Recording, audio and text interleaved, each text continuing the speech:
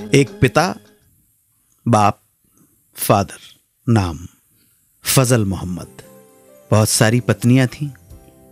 फजल पंजाब के एक जमींदार, काफ़ी पत्नियों में एक थी सरदारी बेगम। इनसे एक बेटा हुआ, जिसका नाम रखा गया अब्दुल हई। अब्दुल हई की माँ और अब्दुल हई के बाप के बीच में कभी भी बनी नहीं। झगड़ा चलता रहा, अनबन होती रही। बच्चे को यह अब्दुल हई नाम का जो बच्चा था, इसको बचपन से ही अभावों का शिकार होना पड़ा। बाप का प्यार नहीं मिला। और बाप ने जानबूझकर बच्चे का नाम अब्दुल हई रखा।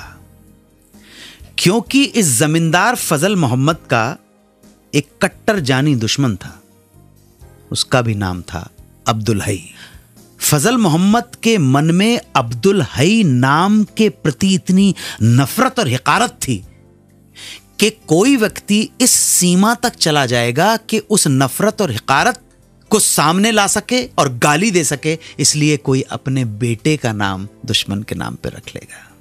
मुकदमेबाजी भी हुई। और इस बच्चे ने, अब्दुल हई नाम का जो बच्चा था, उसने कोर्ट में अपने वालिद के खिलाफ गवाही दे दी। इस बात से मुकदमे से बाप तिलमिला गया।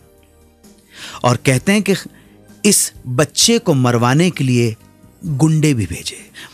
अब्दुल हई नाम के बच्चे की माँ ने अपने जेवर बेच के, अपने बेटे को बचाने के लिए गार्ड्स तैनात किए और किसी तरह से माँ भी बच गई और बेटा भी बच गया।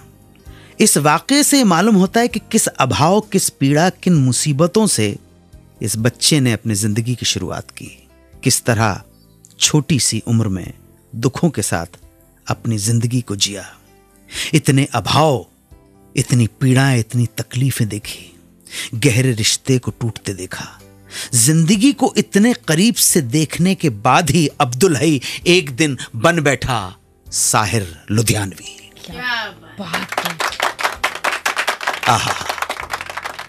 बात चलिए 1964 की तो साहिर लुधियानवी की एक फ़िल्म चित्रलेखा। मैं यहाँ पर भी बता दूँ कि साहिर लुधियानवी के जो फादर थे वो अंग्रेज़ों के पिट्ठू हुआ करते थे। उस जमाने में हिंदुस्तान के जो जमींदार थे अंग्रेज़ों की गुड लिस्ट में रहना चाहते थे उनकी चमचागिरी करते थे उनके साइकोफेंट्स हो जाते थे। ये वजह से भी बालक आ, साहिर के मन में ये ये था कि फादर जो हैं उनके वो अंग्रेज़ों के ग़ुलाम हैं। और इस बच्चे के मन में अपनी मादर वतन के लिए, अपनी मातृभूमि के लिए, अपनी भारत माता के लिए कहीं ना कहीं एक जोश था। सेवा करना चाहता था, दास्ता की बेड़ियों से आज़ाद करवाना चाहता था भारत माता को। तो 1964 में एक फ़िल्म आई थी, केदार शर्मा ने डायरेक्ट किया था। चित्रलेखा नॉवेल पर आधारित थी। चित्रलेखा नॉवेल को लिखा था भगवती चरण वर्मा ने। इसी टाइटल को लेकर 1941 में भी एक फ़िल्म बनी थी।